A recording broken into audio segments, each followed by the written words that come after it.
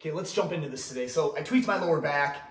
My back is usually pretty healthy, but every now and then I tweak it. So I thought I would just go through my little routine that I do, not once a day, but honestly, I'll probably do this three to four times throughout the day, maybe more. And I want you to remember that usually with healing, sitting is the enemy.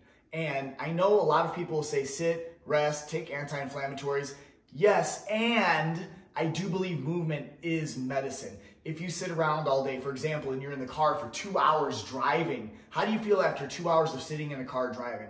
Usually pretty awful. So instead, what I tend to do is, as much as I sit, I try to move just as much, not hard cardio, intense workouts, but just simple movements like this. So let's do this. Okay, first movement I'm gonna do is just some twisting. Now my body does not like twisting in general, so I do not push it. Although required throughout my daily life and tasks is turning around and twisting, whether I'm driving in a car reaching for something for my children or just something from the couch and I reach over and twist. I would hate to blow my back out. So I do preventative measures by a little bit of twisting. What we'll do first is we're gonna sit up, get your chest out, your chin is up. I use my hands and all I do with my lower back, I use my knees and I pull and I pull the lower back in. I'm keeping my stomach in, I'm not pushing it out, but as my chest rises, I pull my lower back in, I arch it, and then I round it slightly. I'm using my legs here to help facilitate that. So going sideways, it's such a small movement. So from here, all I'm doing is a small rounding, pushing, pulling in. I'm getting that spine moving.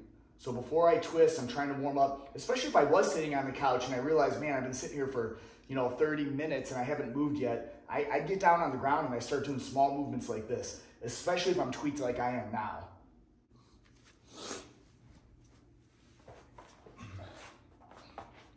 As always, as always, I don't give you reps or time. You do you and see how it feels. After I do that, I'll start the twisting. So what I'll do is I'll open one hand, put on the back of my knee so knuckles touch. My second hand, I keep my posture straight. I reach behind me and all I do is these mini little twists. In fact, it's almost just the shoulder moving. To me, right there, I feel it in my back and I unwind. So it's a small twist. I'm always breathing out on the pain and then coming back. Sometimes if it feels good, I'll twist, I'll hold. Maybe if my back is not tweaked, I'll see how far I can push it. Again, I, am super careful with my back because I get injured pretty easy. Where a lot of times I'll do movements like this, I think I'm helping and then I tend to, to push it and hurt myself. Second side, same thing. I take my open hand, put the back of it on my knee. Second hand goes right behind me. First thing I do before I twist, I try to drop my knees, my glutes flat on the ground so I'm not tipped.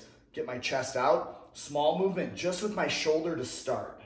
And as I feel better and warmed up, and maybe I'm not injured, I'll reach my hand, walk it back, and push just a little bit more. Each repetition, I'm always exhaling, breathing out. Okay, next I'm gonna be laying on the ground. I'm gonna straighten one leg out, straight as I can. Second foot, I'm gonna put my foot behind my knee. And again, this is a twisting movement, so I go very gentle. My right knee, left hand, First, I'm gonna glue my shoulders down to the ground. Second, grab that knee and I slowly start twisting it over. As I twist, I'm not gonna let this shoulder pop up the best I can. I'm gonna keep it glued down. Now here's the deal. Sometimes while I go through this movement, I keep my shoulder down, I'm not getting very far here. And that's fine, this isn't a competition, but I just wanna see what it feels like to get this knee to the ground because I used to be able to. So I go ahead and drop it. I purposely pull this shoulder up. I'll touch my knee down let my whole body twist, and then I do the opposite. I keep this knee down, and I try to drive my shoulder down and do reps like that. Now, again, this twisting is very rough on my body. I'll, of course, do this on both sides, and you guys can go ahead and do it for time, reps, whatever feels best. And then when I'm fully warmed up, then I'll also do both. So shoulder and knee is off, and what I'll do is I'll try to press them both down, exhale at the same time, and then bring them both up.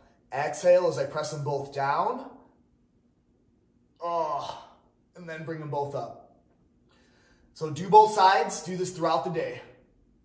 Okay, so next, what I'm gonna do is, this leg does not have to go all the way straight. I'm gonna relax it, so my right leg's relaxed, I set my foot down. My left leg, all I'm gonna work on doing is pulling my knee up to my chest. What I allow my hips to do, so instead of arching my back and keeping my lower back off the ground, I'm gonna go ahead and let my hips round and be pulled up. I wanna be gentle again. My back is tweaked today, so I'm going easy here. I'm gonna grab my knee and I pull it towards my chest. my knees don't really touch my chest very well. They actually go to my armpits better. I've got some hip uh, issues. so as you see my knee come back, I'm pulling it back a little bit more towards my armpit. You do whatever natural groove your knee pulls back into. Don't force it out if it doesn't go. Don't force it in if it doesn't go. Just pull it back, relax your head, shoulders, and all we're gonna do is slow reps like this. And again, you can see the further I pull my knee back, the more it wants to go to the outside. And when I do a squat, my natural squat stance does tend to be toes out, knees out. So that feels healthiest for me. You do what feels healthy to you. We'll hit both sides here. And again, reps, time, that's up to you. You can spend 30 seconds doing repetitions here. You can spend three minutes, whatever feels great. Man, this side feels a lot looser. So the, whatever I did with my back, it's definitely more on my left side, traveling down my left glute, leg.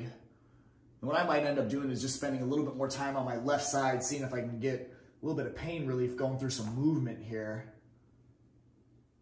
And always breathing throughout it. Okay, the last thing I'm gonna end with is not a cat-cow. I think most people have seen a cat-cow, but cat-cow does not agree with me. You know when you're in this tabletop type of position and you're push, pushing your spine up, arching, lifting your tailbone. Now, I do that occasionally, but I'll tell you what, it just does not seem to agree with my body. So what I found instead is I sort of wag the tail back and forth. So same position, what I'll do is I'll allow my foot to move it, my feet to move at this, and I'm gonna push my hip towards you my head away, and as I push, I can feel a little bit of my lower back, a lot of my hips on the side, and I'm just gonna go back and forth, again, as if I have a tail attached to me, and I'm wagging it back and forth like this. I feel like I get a lot of benefit out of this movement. It's almost like a serpentine. Going slow, hold on one side, pushing through, breaking the hip through, and then switching sides. And I can still feel one side is tighter than the other. But going back to cat cow, I, I think a lot of people, and I sort of prescribe to it, if you don't like doing it, you probably need to. However, as a general statement, I hate saying that if I don't know somebody in line, you might be doing something that absolutely feels awful to you because it is awful for you. Now, for someone to say that through a video like this, for me to tell you, just push through the pain, your body needs this, I think that's a little ignorant of me, so I won't say that. And again, you can allow your feet to move a little bit, give a little bit more freedom there. So that movement again is so much healthier to me feeling on my body when I'm done than cat cow. So I instead do that, give that a shot, keep moving forward.